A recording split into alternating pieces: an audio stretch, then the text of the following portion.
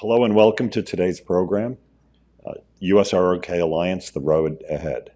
Uh, thank you all for joining us. I'm Tom Byrne, uh, the President and CEO of the Korea Society.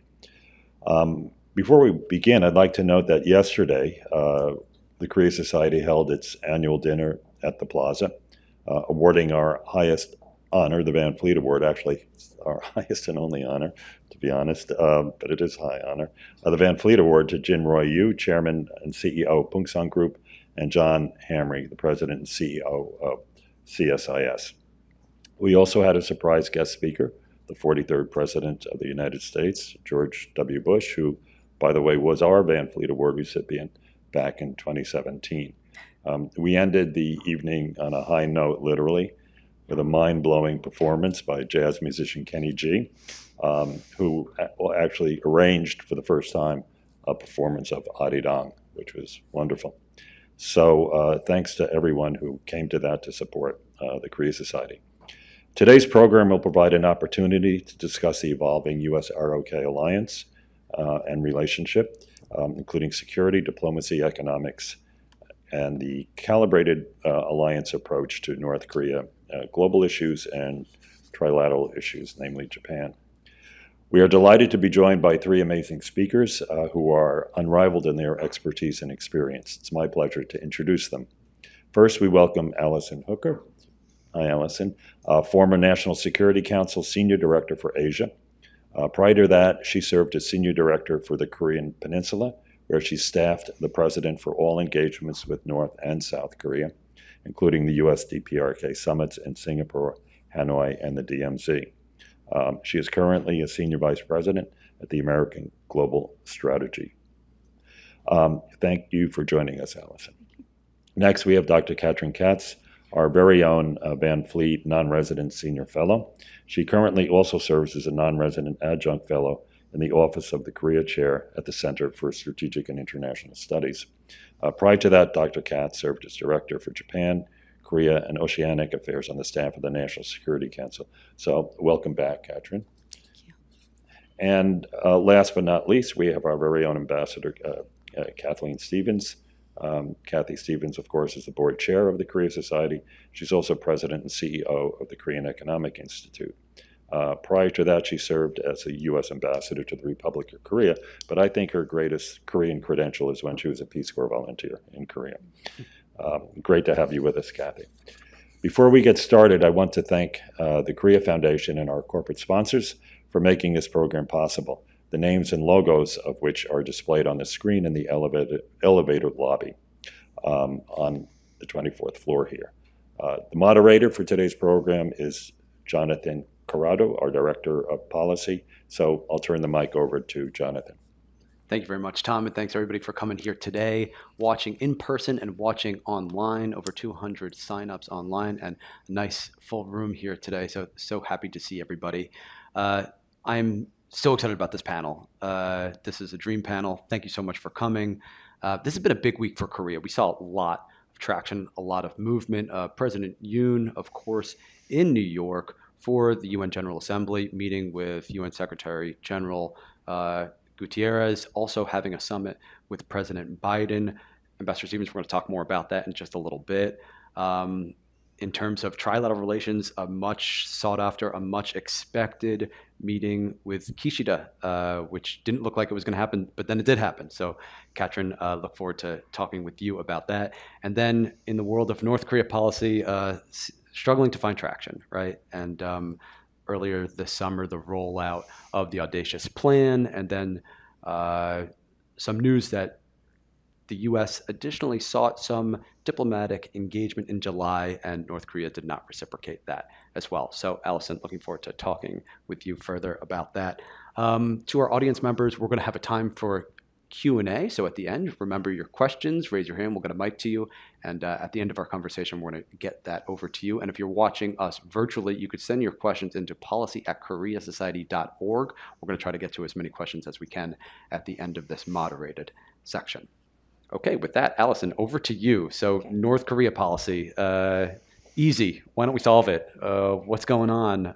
Um, so where we're sitting right now is it looks like we're as far from denuclearization as we've been in a while. Um, the audacious plan rollout has been met with kind of a muted response from North Korea and even some um, criticism from Kim Jong Un's sister, Kim Yo Jong. Uh, what advice would you give uh, the White House at this juncture, given all the lessons that you've learned, how long you've spent on this profile, how many ups and downs you've been through, how many cycles you've been through? Uh, over to you, Allison, for your thoughts. Thank you. And, and, first of all, I'd like to say it's a great honor to be here at the Korea Society Day today and with this panel. Um, Ambassador Stephens, Dr. Katz, longtime uh, colleagues, friends, mentors, and in many way, in many ways. And so it's a huge honor to be here. Thanks for having me, Jonathan. So, right, I mean, you said it already. If it were easy, we would have done it decades ago. We're 25 years, almost 30 years into this process, and it feels that we're farther away than we've ever been in terms of denuclearization. There are a lot of reasons for that that I don't have to enumerate for um, for this for this group for this crowd, but particularly I think it's important to point out that Kim is watching very carefully the war in Ukraine he's relearning the lessons his father learned about Libya. And so denuclearization doesn't seem like a smart move for him at this moment. Um, now, I've always been the optimist in, in my circle of, of colleagues when I was working on North Korea uh, in the federal government, both at the State Department and the White House. Never say never, never give up. Um, and so I still say that in spite of what I just said. But um, it is it is quite difficult, and finding a way to make denuclearization attractive to Kim is is our biggest challenge, I think. Um, and so, if you're not going to make it attractive, what are your options? Uh, our options, I think, are um, are diminishing. Uh, again, I sound really depressing, but I'll come back to optimism.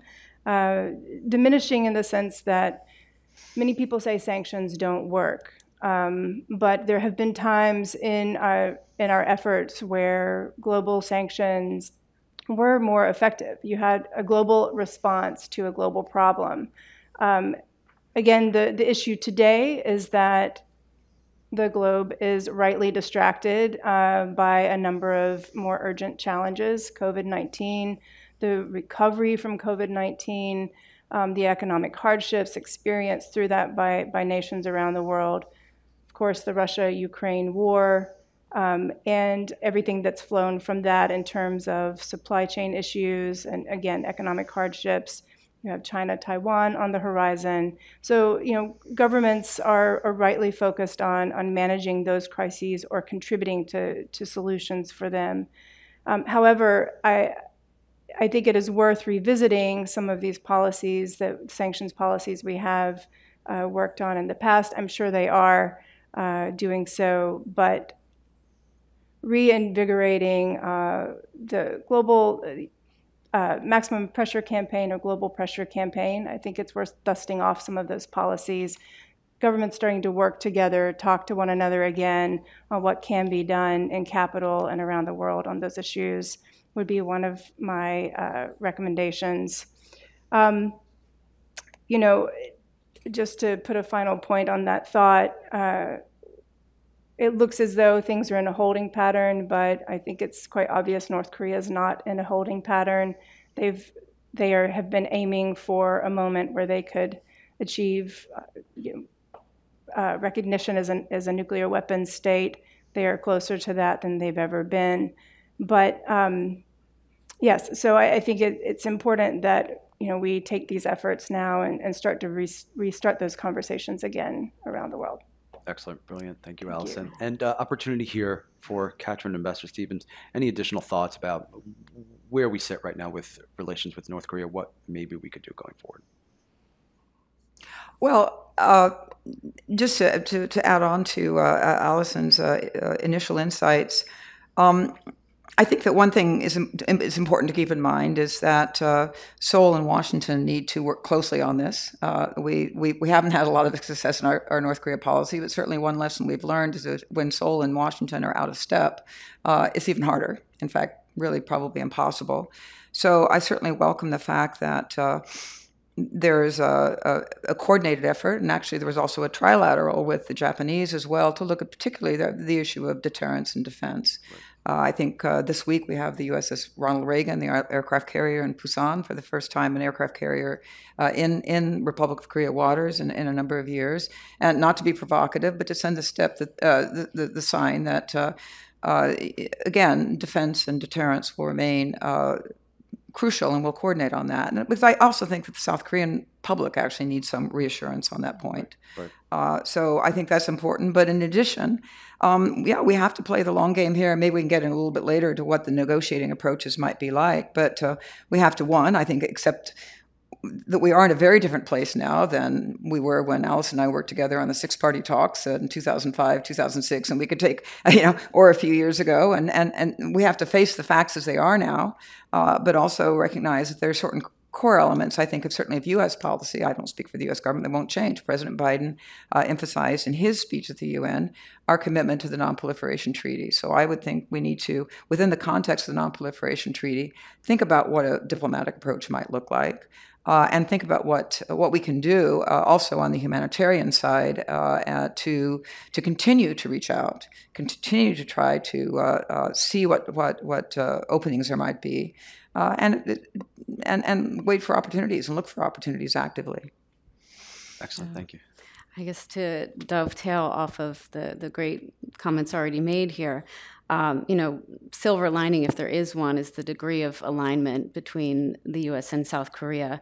Um, really important to remain active as North Korea doesn't respond to the initiatives keeping the door open to diplomacy, as the Yoon and Biden administrations are doing. I think is very important, but not to kind of sit sit tight as that happens. And I think that's very much what's going on in terms of strengthening deterrence, uh, defense, um, conventionally extended deterrence uh, dialogue starting up again uh, last week. Very important signals that are going on, so that the alliance remains in a, as well as Japan as well, um, remains in a position of strength. Uh, you know, no matter what North Korea does. So I think it's that kind of Plan B um, that's really, you know, a, a, positive here in terms of um, the Allies remaining very busy in this somewhat stagnant period. Excellent, thank you. And polling showing that the alliance remains very popular both in the in America, in Korea, really highly regarded on both sides. And um, new poll out of Seoul National University, 92% of Korean respondents think that denuclearization is impossible. So what can we do in, in this case? If that's the perception out there, what can we do to make sure that we're still safe, to make sure that we're still protected, and to promote and foster conditions where we can get to a better place? So I think you all covered that really nicely. Uh, we're going to zoom out here and look at U.S. Korea relations writ large. And Ambassador Stephens, I'll turn to you. Uh, first of all, I want to say happy birthday to you. Your birthday was yesterday. we sang happy yesterday. birthday. and Kenny G also played his sax to say happy birthday. That was really cool.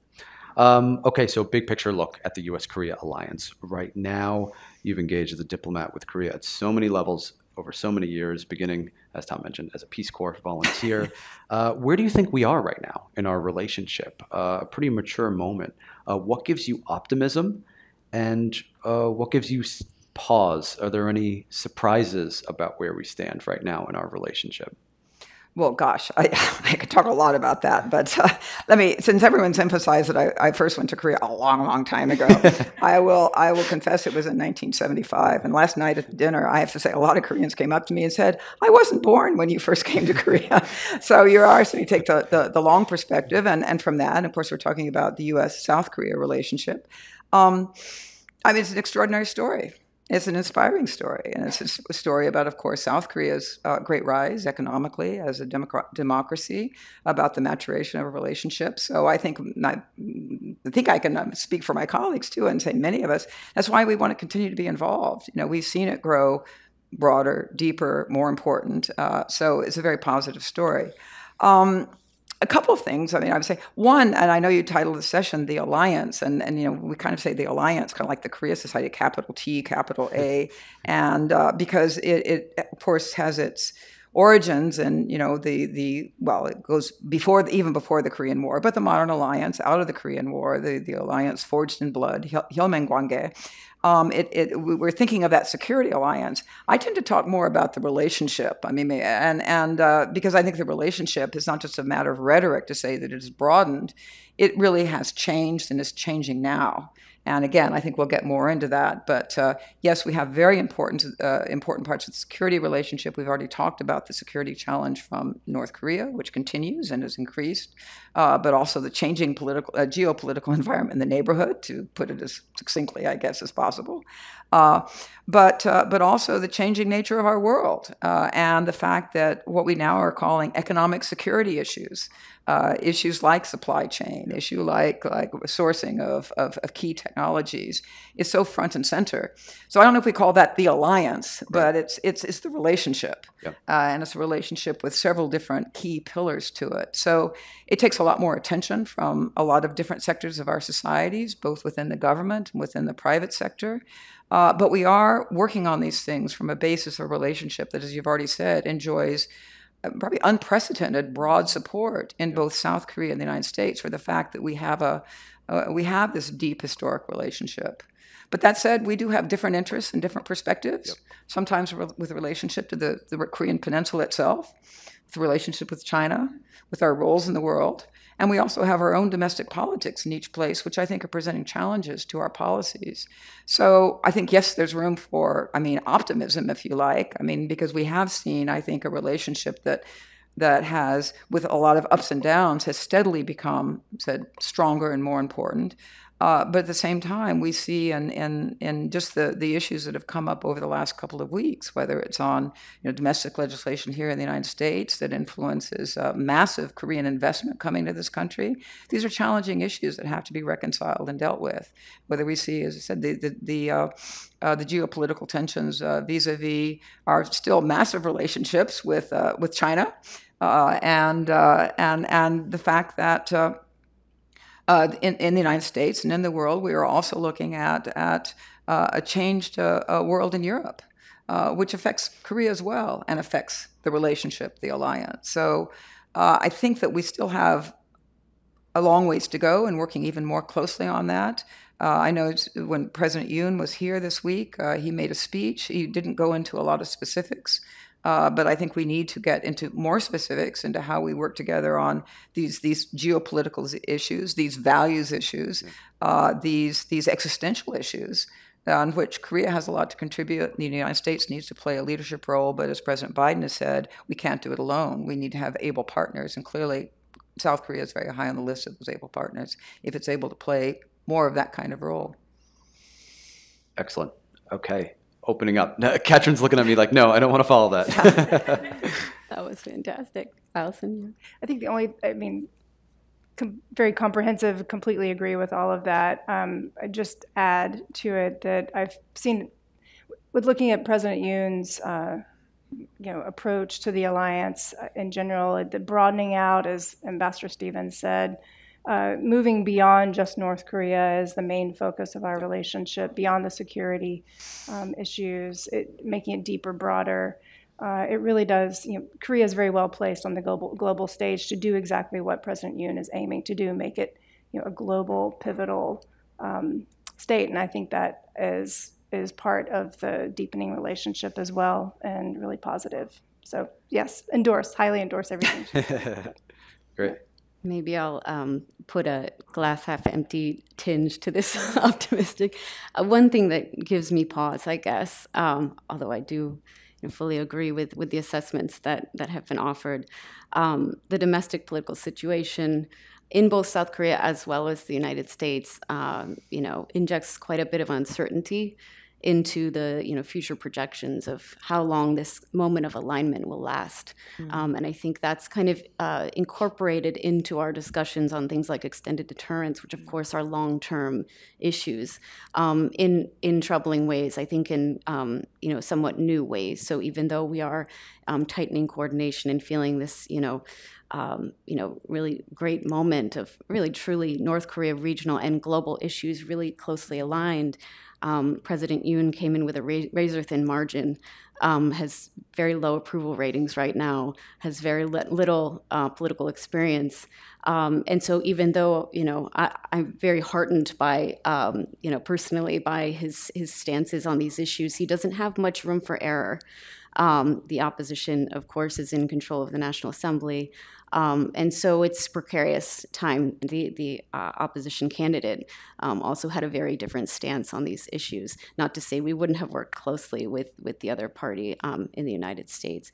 In the in the U.S., of course, as as we all know in this room, in a troubling sense, we're in a very divided time. We have um, important elections coming up, and we also have, of course, uh, potentially another administration on the horizon. So I think that all gets um, pulled into this, um, you know, this level of uncertainty gets pulled into this uh, precarious time, but you know, with with with some some reasons for optimism, but also um, things that we just can't predict at the moment.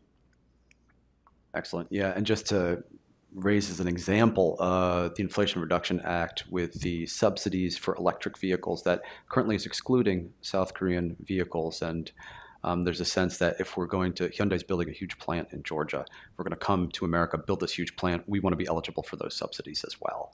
Uh, same thing with semiconductors. Uh, I see Jessica Taylor sitting right here. We just wrote a piece about chips and how we can work together, the US and South Korea, on uh, semiconductor supply chain resilience. And this very quickly gets so complicated because China is a huge market that we cannot ignore, and decoupling is just impractical, if I may be so bold to say.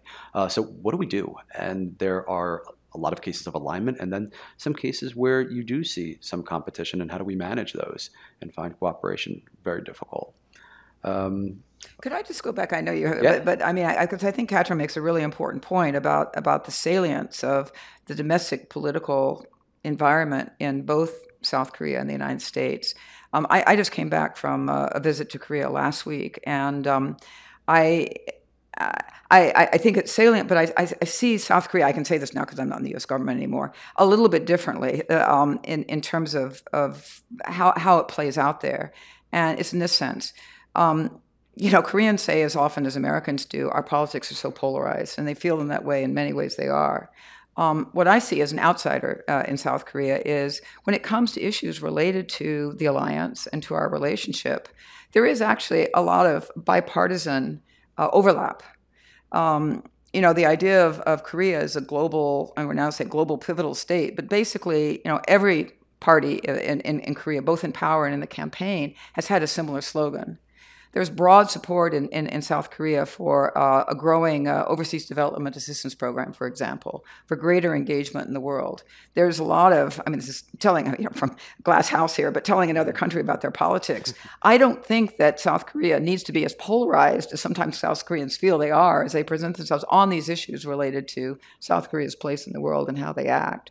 There's a lot of overlap there, but I think the, the extent to which that can be nurtured um, is going to be essential to how much Korea can do.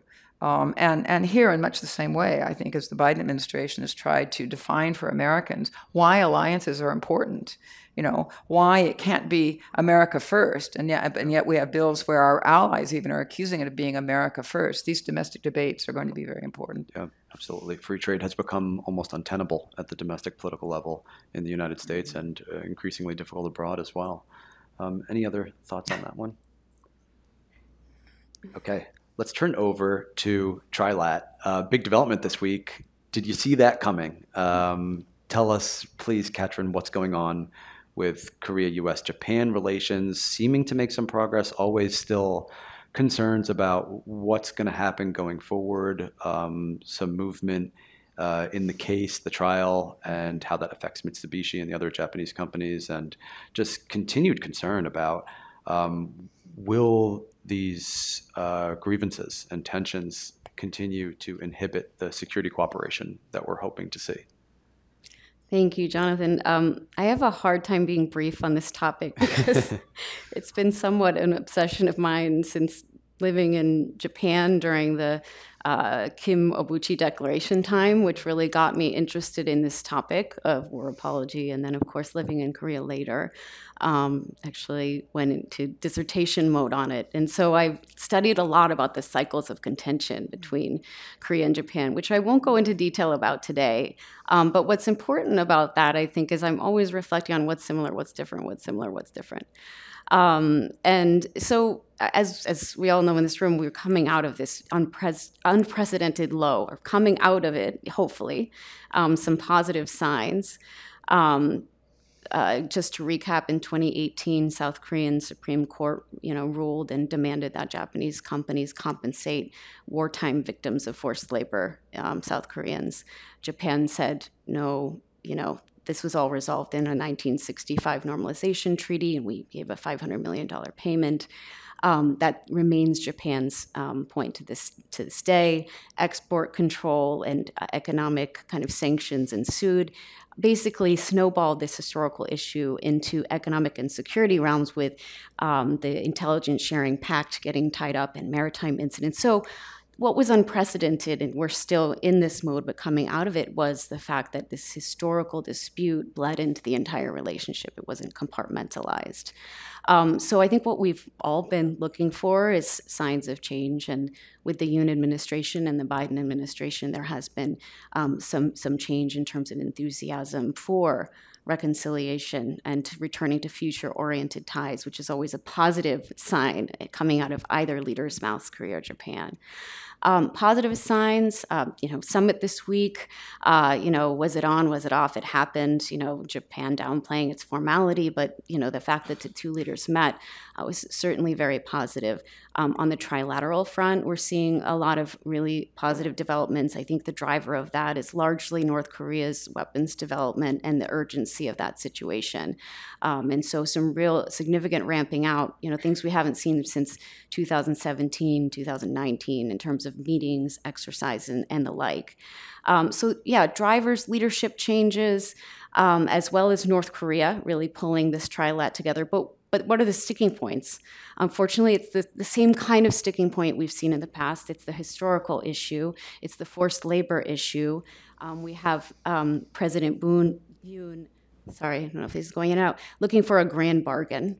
Um, I think the real problem I see is that Japan's, at least Kishida right now, doesn't really know what, you know, doesn't see much in, in it for Japan um, Yoon is the you know it's always it's never good to be the over enthusiastic partner in this kind of thing. There needs to be some kind of a trade going on, and um, you know one could envision in a, a situation maybe like a more uncertain, unstable environment where Japan wants to kind of um, get things back in a better place. But right now, Kishida sees, I think, more costs to um, budging at all on the forced labor issue, um, while Yoon is trying very hard um, to come up with creative solutions to, so that Japanese companies do not have to actually pay. Kishida is holding firm. Um, and so that's that's where we are. Um, some movement, I mean, positive leadership changes, um, lessons from the past, just very quickly. Um, I do think you know we have seen in the past things like in 1998 a North Korean missile test push. You know, prior prior to the Kim-Obuchi Declaration, pushed those leaders together. Japan suddenly saw a real reason to get over a really tense Dokdo Takeshima episode. Um, so that kind of thing today, um, you know, perhaps, you know, heaven forbid, a Taiwan contingency, something un- really, you know, unsettling in the region can open political space, shift dynamics very quickly. Um, secondly, ramping up areas of um, of uh, new engagement, economic security. You know, they're both uh, Japan and Korea are members of RCEP, um, both members of IPEF, both. Um, well, Korea wants to be in CPTPP. So these new arenas for you know making um, connections away from these issues, and lastly, symbolic concessions can really make a difference um, things like the condolence book, you know, writing, uh, President Yoon writing in the condolence book for uh, Prime Minister Abe about we're best neighbors. These things actually cost very little. They can cost some in terms of public sentiment, you know, it can be some backlash, but often cost very little and they they gener- can generate a great deal of goodwill. Um, and so those three things I think would be the areas that I see as potentially, you know, helping to move things along in addition to continuing to really try to hammer out creative solutions to the forced labor issue. Excellent. Thank you so much. And uh, wanted to mention that our next Sherman Scholar Award winner Hoonbin Chung, who's going to present. Uh, she wrote a book called Pride Not Prejudice. Uh, Katrin Katz was our inaugural Sherman Scholar Award winner. Mm. Um, and the book is about how in Northeast Asia she's conducted uh, empirical research. Identifying your national identity ended up being helpful in building trust and consensus in cooperative arrangements with uh, participants from Korea, Japan, and China. And this is, of course, so counterintuitive because we always think if we want to, if we want these kind of participants get along, we need to ignore all that stuff. We need to hide it. We need to put it away. But this research is really compelling because it suggests that that might not be the case. That acknowledging this is so essential to start to build that trust. Um, so November will be the time that you can come and watch her present her uh, work, um, opening up space now for further thoughts on trilateral uh, relations. Well, I mean, I would just say, I mean, I think it's important to talk about, yeah, the and you've uh, the bilateral relationship of Korea and Japan, and and then right trilateral, then we're bringing in the United States, and I think we can always ask ourselves the question. I don't really have the answer of, you know, when and how and if you know the United States sort of playing a role uh, is is useful or not, you know, and if so, you know, how? Uh, and, I do think the U.S. does have a role to play here, and it's tried over time. And as Katrin has said, I think there's been a lot, of, you know, could be ups and downs in the relationship, but certainly a recognition. And I can speak to Korea, you know, m- much more confidently than than I can of Japan sentiment, but Japanese sentiment. That clearly, I mean, there's broad sentiment that this has to be fixed. It's gone too far. And I agree with you. I've seen, you know, the, the Yoon administration has made it a priority to really think, what can we do? They've tried to kind of have a a, a, private bipartisan commission that would come up with something, consult, and have something that would be ready. They're really trying to think of something, and they're they're meeting, let's say, a very cool response on the Japanese side. Mm-hmm. I think that's pretty clear. Mm-hmm. I do worry if that re- if that if that response remains, and I understand why it's cool in a sense that you know you can't trust what they're going to come up with. It's not going to stick, and so on. And I don't know if the Abe assassination has influenced attitudes, but you know that Japan has its own dynamic. But I do worry if it retain, if it continues to be kind of a cold shoulder that some of that space that I think has opened up in South Korea in terms of the political mood there might start to close again. Mm-hmm. So, you know, something to continue to kind of work on. One, and this may seem like a small thing, but getting back to kind of people to people relationships are important. That's very special and long relationship between Japan and Korea and very troubled in many ways is I've heard a lot of Koreans, again, being there last, uh, a couple times in the last few months,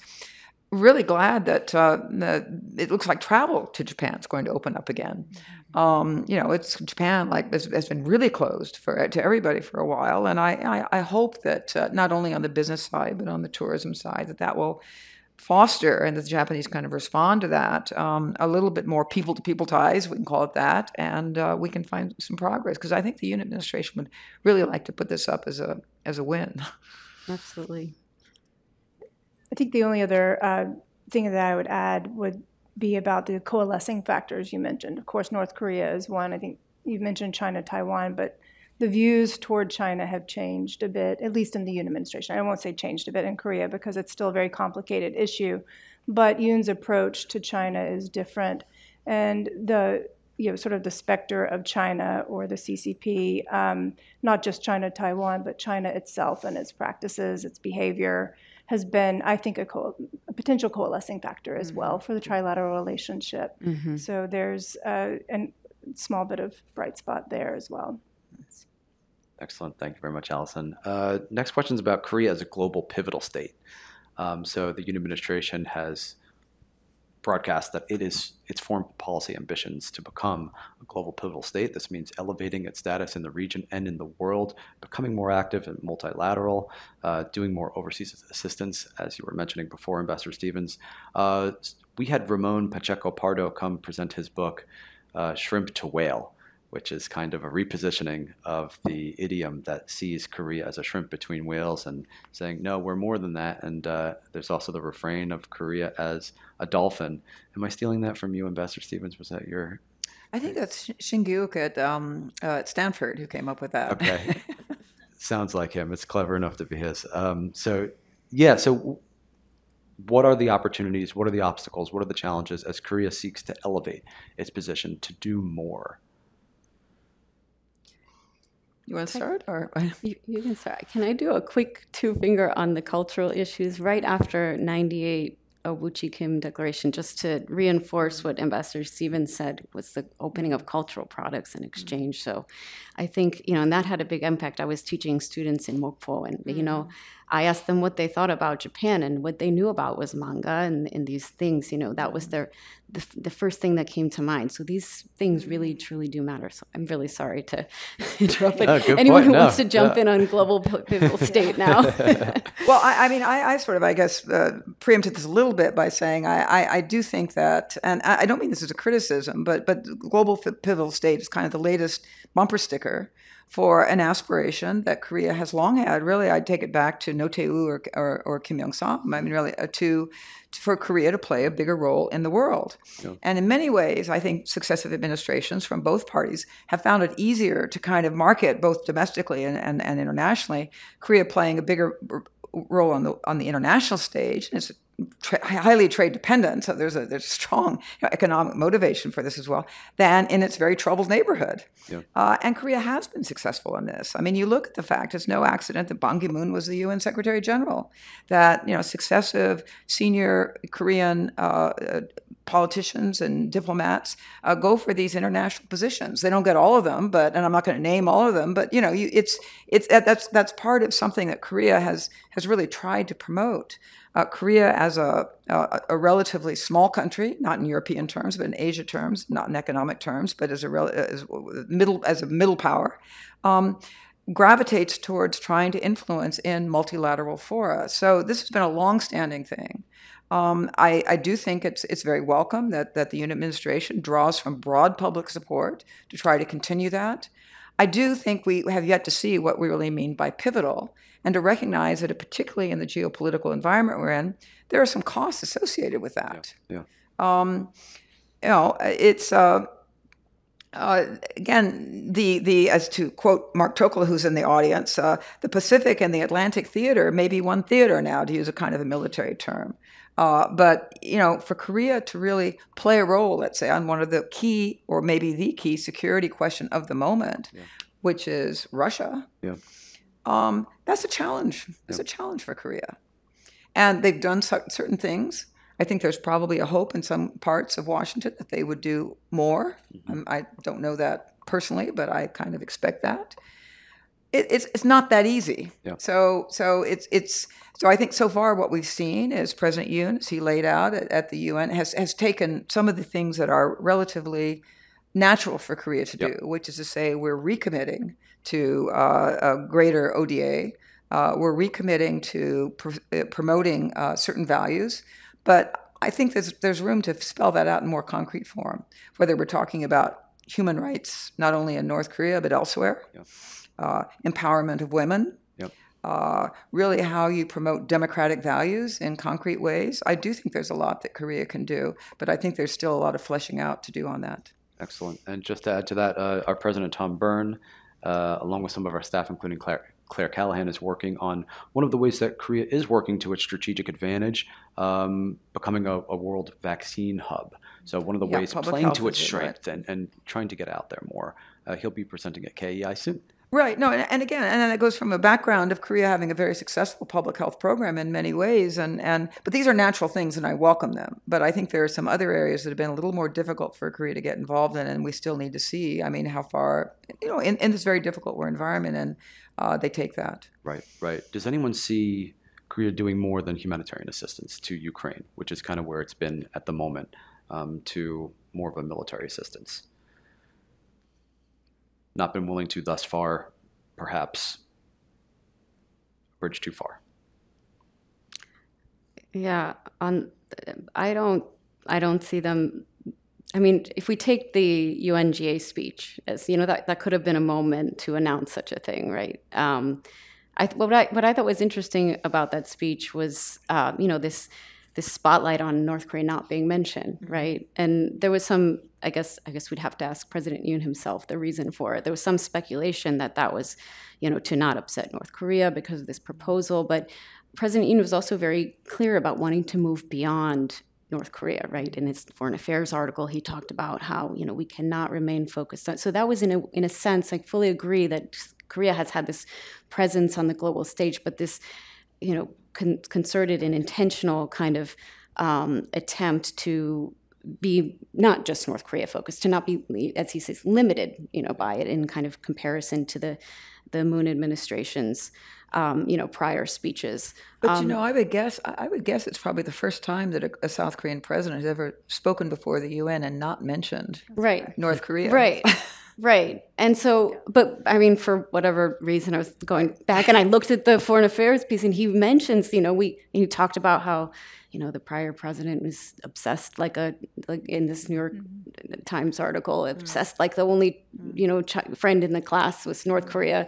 Um, so very much wants, you know, I, I saw it at least through that lens, like very much wants to say, no, we are defining ourselves, you know, in this global sense. But again, it needs some, Yeah. you need some more, um, you know, the, the, it is significant, I think, in this present moment to uh, pay even just lip service to liberal international order principles. And, you know, I fully, um, you know, could understand that he was doing that. But I think the challenge will be the specifics like, well, what does that mean for Ukraine? What does that mean for um, the Europe theater? How much can South Korea really do militarily when it has a major, major security, unresolved security issue right on the peninsula? And so this is, I think, um, And a know, desire to have a, a certain relationship with Russia. It's complicated. I'm just saying it's complicated. We shouldn't fool ourselves about that. And I, and I have to say, on on the North Korea as a focus in, in the past administration at the UN or elsewhere. I mean, the context, of course, was there was an American president who, in terms of the Korean Peninsula, was, I think, would be fair to say, heavily focused on North Korea, and there were things that were happening in North Korea. So it's it's I, again, I, I guess I want to reinforce a point I was making earlier that I do think that there's more there's more overlap uh, with respect to policy and, successive South Korean administrations, and sometimes they themselves, for political reasons at home, emphasize, and that sometimes I mean you know we in the kind of chattering class you know acknowledge. Um, I, I think that any very, uh, South Korean president, if there's an opportunity to pursue an opening in North Korea, that South Korean president's going to want to do that. Now, under different conditions, under with different approaches, but this is an historic task for any Korean president. I mean, certainly to defend the Republic of Korea, but also, if at all possible, to move forward on the unfinished business of the division and the and, rec- and reconciliation. So that's why you have something called the audacious proposal, but then which looks a lot like previous uh, audacious proposals. And you know, I hope eventually we get some some traction on it. But I think it's just always important to kind of remind ourselves and remind others that that there is this overlap here, and that I, I, I do think that President Yoon and his administration would be very prepared to move forward on, on North Korea if they saw an opportunity to make some progress. Agree completely. And I, I, on the you know sort of overlapping of successive administrations, I think there's incremental growth as well. I mean, it looks you can look backwards and, and sort of say, well, this is the same, the same, the same. But if you were to go back to the beginning and look what Korea was doing, I'm talking about the on the global issues, looking what Korea was doing then compared to what it's doing now, which is mind blowing. Yeah. You know, everything from you know the medical field, to, you know, on the vaccines or on technology or on overseas development assistance, et cetera. There's been so much growth, and um, you know, I think it's worth acknowledging that. And absolutely, on North Korea, anyone, any country, United States, China, South Korea, Japan, Mongolia, if there were an open, opening to make some progress, then you know, I think the leadership of any country would would take a leap at that, including South Korea.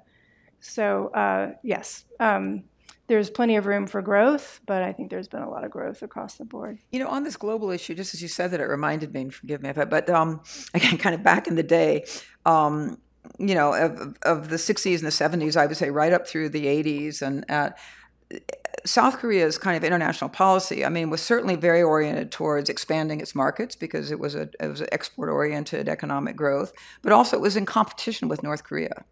You know, so right through, and I remember again the times when I lived in Korea in the 1970s and the 1980s. Um, you know, you marked it by how many countries recognize North Korea and how many recognize South Korea, right? And how many places they had embassies. I mean, under Park Chung-hee, they opened embassies in every single. This was a very poor country then, South Korea, but they opened up embassies everywhere because they didn't want North Korea to be someplace where they weren't, right? Now we're not talking about that now. You know, the comp- that competition is over. You know, what does it mean to be a successful Korean state in the 21st century? It means to be the Republic of Korea. So they have the confidence now to say that's not what it's about. Um, so in a way, that's why you don't even have to talk about it at the UN.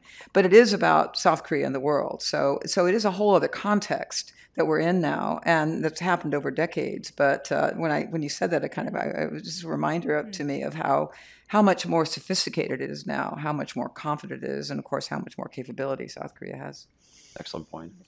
Um, I wanted to mention, uh, Ambassador Stephens, we were talking about this earlier.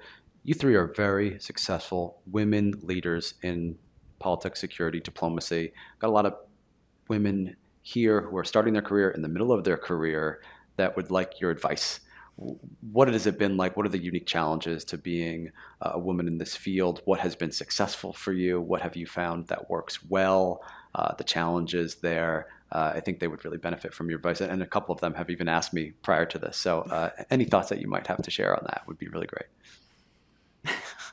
Uh oh. well, I have to say, just because I didn't get to say I'm honored to be on this panel, which I am, is that these two have been an inspiration to me for a very long time. So I want to punt that to them because they have navigated the, and I have, you know, definitely, you know, learned from the examples that were set, pillars of wisdom and strength for many, many years. So I will just make this into a compliment. well, okay. Well, so, so I mean, I, uh, I've known Allison for many years, and I I know that I relied on her when I uh, came back into working on Korea after 15 years of not following Korea at all. And, you know, uh, she had standing, and of course, I grew to rely and respect her as so many others have because of her deep expertise. I mean, she was just good. I mean, it seems like she's just really good and better to be at what she did. So that's one really basic thing. I, I mean, the other thing, and since I'm the old lady here, I'll say is for me. I mean, coming back into Korea, it was. I, so I, I, I I had an early assignment in Korea, and I ended up staying there for six years uh, you know, after the Peace Corps, working at the embassy there. And I, I, was the first woman to serve as a political officer there. And um, I, I, faced uh, the ambassador, the American ambassador there at the time, didn't want a woman as a political officer there. So, because there'd never been one. But once there was one, they realized not only could you be a woman and be a, a political officer in Korea and somehow do it, and, and my little card to get in the door was having some Korean language ability, which was not so common then. But the other thing was it actually made people in the embassy and in the State Department realize, and forgive, you didn't have to be a white male for the Korean, you know, political establishment to talk to you. You could be Asian. You could be something different. You could be you could be an Asian woman. You could be all kinds of things. So so I think once that kind of door kind of comes ajar a little bit, then it helps a lot. But then the other thing that has to I think happen is we have to help each other. And uh, I was I think I was mentioning to uh, to, to Katrin earlier. I was thinking, but that um, I remembering because I, I was struck too by the fact that okay we're three women and and and then Jonathan like a, a, sitcom or something. Um, yeah, sorry, and. Uh, uh, there was um, a, the Washington Post uh, uh, reporter in Seoul for some time, Anna Fifield. I don't know, some of you may know her. She uh, a few years ago, um, uh, I was I was out at Stanford, and she she sent around an email to I guess all the women she knew on her email list, and said, uh, and she was living in Seoul at the time. She said, "I'm really t- tired of going to, to panels, and uh, and I, and they were all manels. They were only men."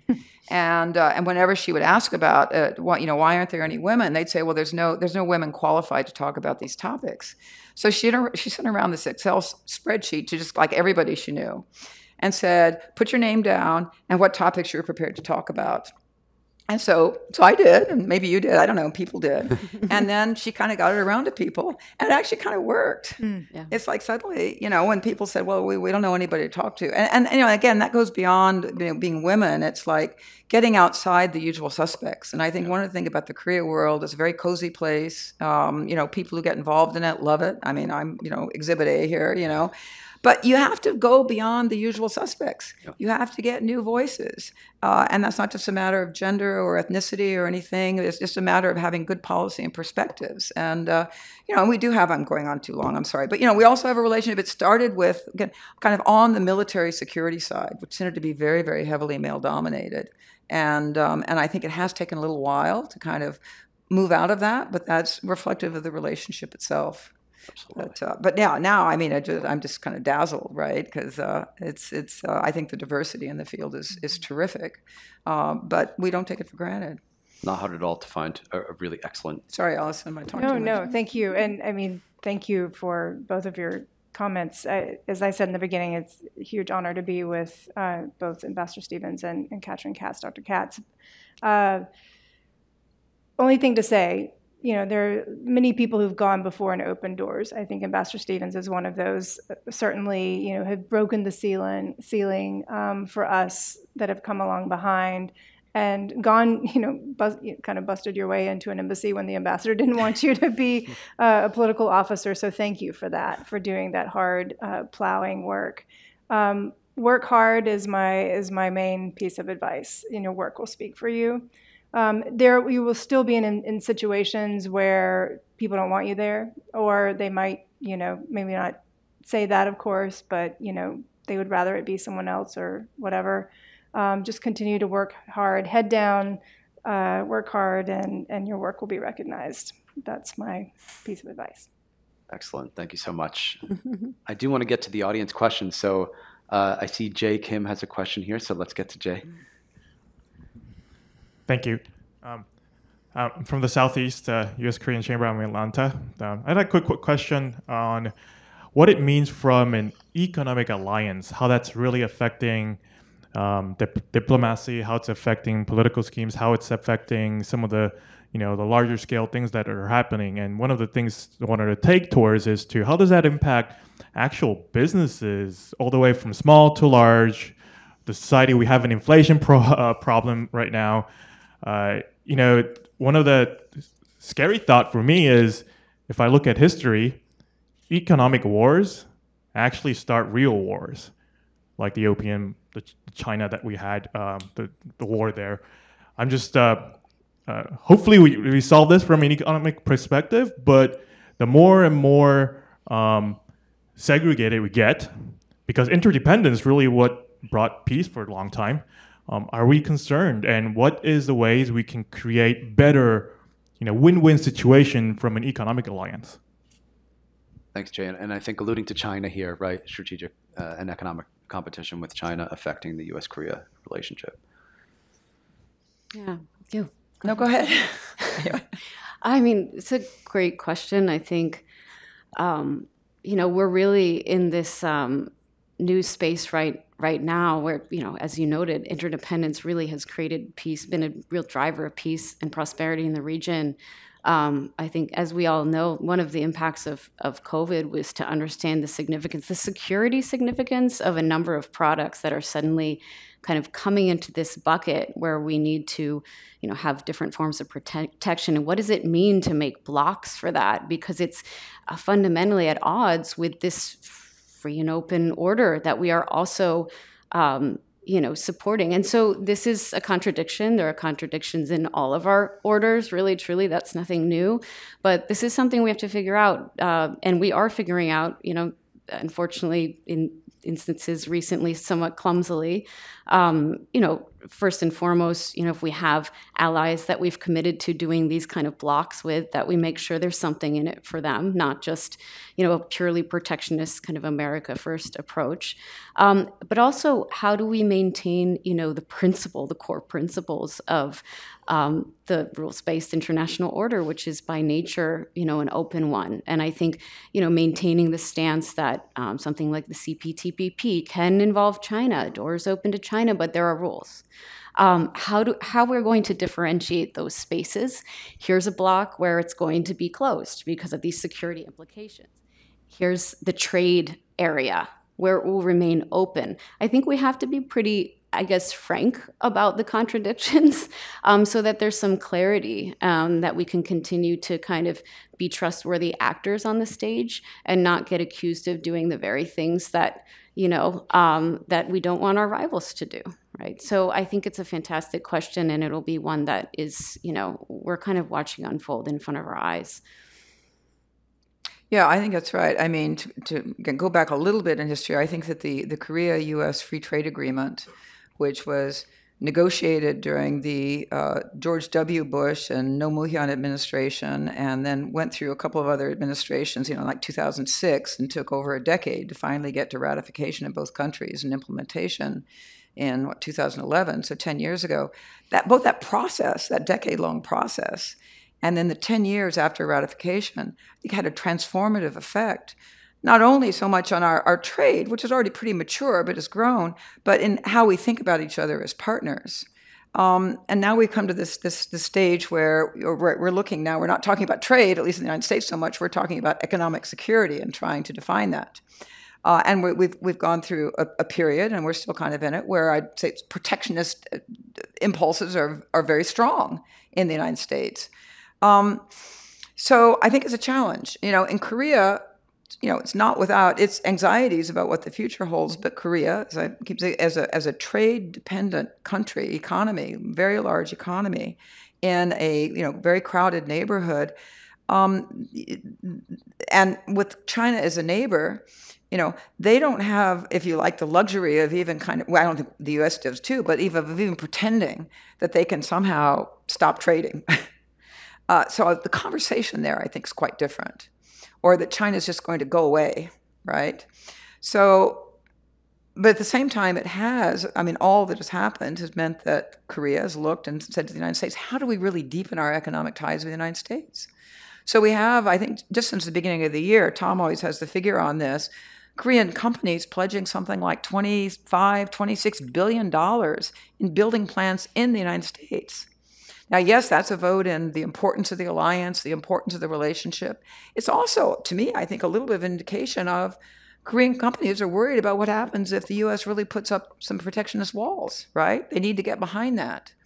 So I just kind of second, I think what, what Katrin is saying is there's a lot of anxiety around this. And I think that's what you're expressing too. Where are we going to go from here? It's why there is such sensitivity when when a piece of legislation passes and nobody really realizes what's in it in terms of is it even consistent with the free trade agreement? Um, what is it actually going to mean for American car companies' desire to to, move to uh, electric vehicles? It's so complicated. Um, but again, that's where I guess I think to be that, that that's where the fact that we have a pretty mature uh, relationship of consultation um, is going to help. Uh, but uh, but I think we're just at the beginning of this. Uh, so South Korea has joined the Indo-Pacific Economic Forum. There are four pillars. South Korea said they're in all of them. But I think South Korea is going to have to play a leading role along with the United States of actually shaping what that means, not just for our two countries, but for the other what 12 countries in it. Agree. Very succinct. Um, Mako, I wanted to get to you, and I wanted to get to Mark Tokola as well. Can we start with Mark because I saw his hand first, and then to Mako? Let's take two at one time. Yeah, thank you. Mark Tokola from KEI. Um, I'm going to cheat and ask two questions, but I'll direct both of them to Allison Hooker. Oh, gosh. so, uh, first, how should the United States and South Korea respond to a seventh North Korean nuclear test? What do we do? And then, second, if God forbid there was a conflict over Taiwan, what would happen on the peninsula? Would it be isolated from it or caught up in it? Great questions. Okay, let's see if we could take one more from Mako as well. Hopefully, it's not also directed at Allison because that would be a lot of heavy lifting. Yeah, fair. Thank you. I'm Michael. The I, before coming here, I also served the uh, Japanese embassy in Seoul as a civilian defense attaché, first female. And then the great uh, Michio. My question is simple. So, like, so South Korea and America, of course, all the because of the geographical difficult uh, difference, and also the, the the impact of any risk. Say, for example, any Russia's counter action to maybe Seoul, or counter counter ac- economic action from China would impact way more than what happened to the case of U.S. got the same counter action that maybe I was wrong, but then so my question is whether uh, the U.S. government um, fully understand or like uh, satisfied with any action, like South Korea's action towards Russia, South Korea's attitude towards North Korea, China, or the U.S. government, especially the Biden administration, accept more proactive um, action, especially for the security-related issue, you know, uh, against, not necessarily against, but engagement to Russia, China, or North Korea? What's uh, the U.S. government's kind of view to South Korea's current attitude towards this all these national security concerns? Gotcha. Okay, so I think you're asking, uh, and correct me if I'm wrong here, if America acknowledges some of the vulner- vulnerabilities that Korea has as we try to recruit Korea to help us in these larger geopolitical problems. Okay, so three questions on the table. Okay. Turn to you, Allison, first. Thank you. And Mark, thanks for those questions. It's great to see you again. Um, and it, it's so many friendly faces in the room uh, as well. It's great to see everyone. So, on the seventh North, North Korean nuclear test, uh, what should South Korea, the U.S. do? Um, great question. I think what they're do, what we're doing already is is a good start. So you have a return to uh, strengthening the military posture over the since President Yoon came in, since President Biden came in, have returned to in-person large-scale exercises. You have uh, an increase in budget, you know, for the South Korean military. You have um, as you know, Ambassador Stephens mentioned, you have the U.S. carrier strike group in the region, just taking a very strong approach. I, I, partic- I continue to believe in peace through strength um, is, an appropriate concept, uh, and that it seems that that's what President Yoon and President Biden are doing at the moment. Now, post test. Um, UN Security Council is hamstrung on taking any new action um, because of the, the, war between Russia and Ukraine and no ability to pass any new um, comprehensive sanctions packages. But as I said earlier, I think implementation, I don't want to just focus on sanctions because then I, you open the can of worms on sanctions, but I'm going to briefly anyway uh, and then move quickly to the second question. But you, the, the sanctions we have in place could be effective, again, if they were being implemented and if you had broad, comprehensive Im- implementation. And I think that just refocusing on North Korea, you know, in and in those terms would be you know going back to like-minded countries going back um, and talking about what can every capital do to implement those sanctions could have a, you know a painful effect on North Korea, which is you know what we want to do. But setting that aside um, and leaving the door open for dialogue, which feels uh, pointless in that con- you know in that context, um, strengthening the military posture is the best thing to do, which is what we're doing, uh, or what they're doing. It's not we anymore. On the second question on China Taiwan, would the peninsula be pulled in? Well, Good question. Uh, you know, from the perspective of, I immediately am thinking about uh, North Korea's statement recently about not, you know, being engaged in arms transfers directed at uh, at Russia, right? So I, I think that that North Korea would try to stay out of this um, particular potential conflict, and the Yoon administration has some choices to make uh, on that issue. They President Yoon has been quite strong on Taiwan, strong, stronger on China, as you know. Um, but it's complicated as we've laid out here, and I think it might be a decision, you know, sort of a decision at a time um, to decide exactly how they would respond. Uh, I, yeah, without getting into Japan, um, you know, there would be great. I think there'd be pressure from the region and certainly from the United States um, to be involved, but it, it will be. Uh, it, will be a game time decision, I think, for President Yoon. Thanks.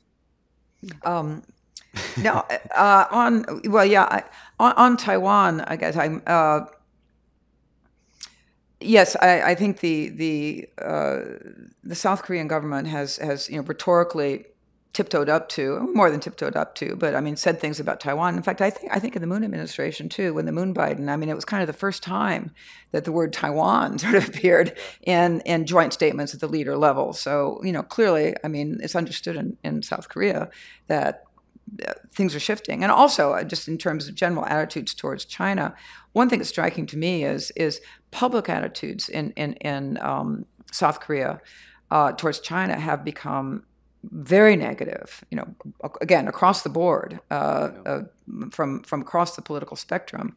I th- still think that the, as, as Allison uh, alludes to, the, the, the scope uh, at the leader level for what you can do is still very narrow because it's such a complicated and delicate relationship that, that, and that, that South Korea tries to balance with, uh, uh, balance is not a good word, but, but anymore, but with, with China.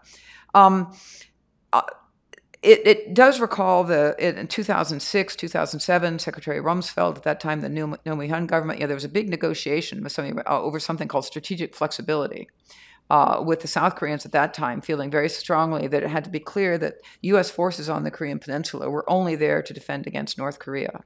After a lot, and, and at this time, of course, the Iraq War, and of course, Korea sent its own troops to, to Iraq, but the forces on the peninsula at that time, the Department of Defense, the U.S., felt should be ready to go where they were needed most and not tied down to the peninsula. Finally, there was language, much negotiated and, and, and, and finally agreed, that uh, this was subject to the will of the Korean people. Mm-hmm. So if, if tensions increased in Taiwan, I think you would hear talk about this again. Mm-hmm. How would the will of the Korean people be expressed on this? Yeah.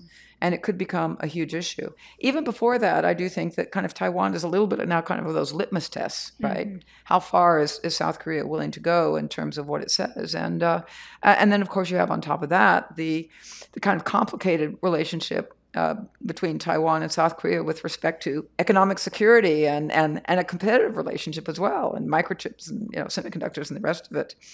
Um, uh, to your to your uh, comment on on does the you know, does the U.S. government understand?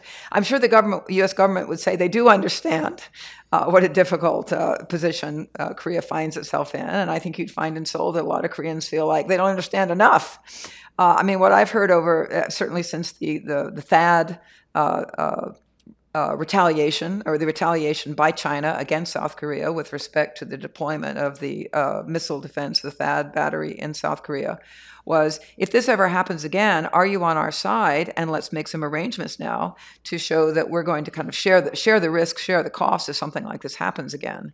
Um, I don't think there's been any particular movement towards doing that, but uh, I think there's there remains worry in Seoul about whether or not this understanding extends to you know doing something that would actually help mitigate uh, the risk that Seoul feels it faces vis-a-vis China.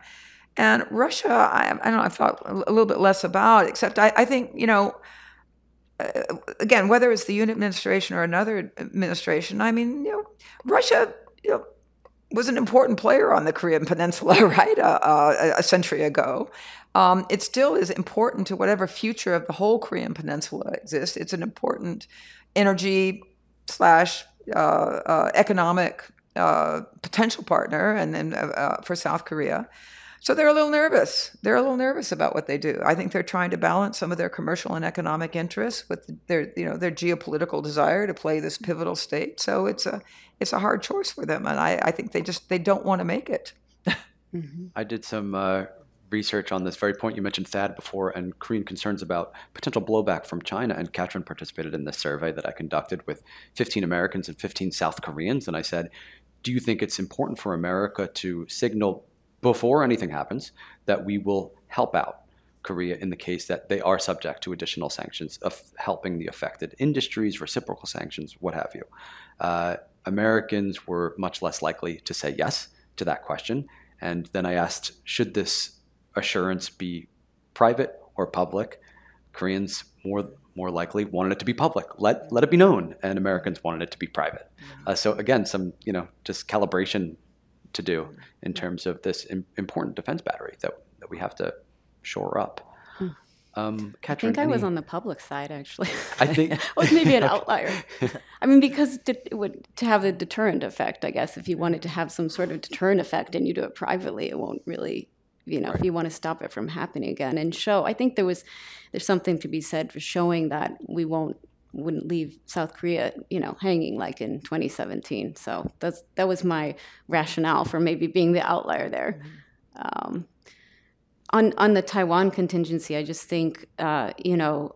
Uh, quiet conversations in the trilateral space mm-hmm. to have clarity. What what I mean, we're getting close to these scenarios, you know, with the Pelosi visit and the uptick and kind of new normal, or, and you know the implications that had immediately for Japan. What does that mean for U.S. forces in Japan that are also critical to the defense of South Korea?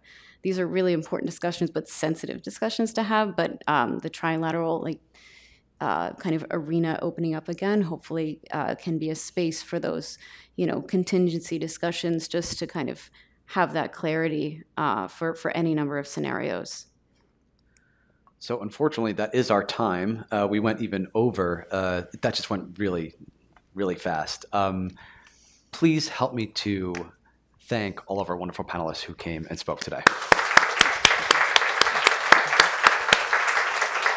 Thank you, our audience, for joining us. We have lunch in the kitchen for you, so please help yourself. We got some delicious dumplings, so please hang out, spend some time with us, and check back on our website. October 6th, we're coming back with a program called Broadcasting to North Korea with the head of VOA's Korean service, Dong Hyuk Lee, and Jieun Baek at Harvard University. Um, we're going to have another program on Korean Peninsula Nuclear Update on October 25th, and that one's going to be in person as well. So come join us early and often. Thank you so much. Have a wonderful day, everybody. Bye. Thank you.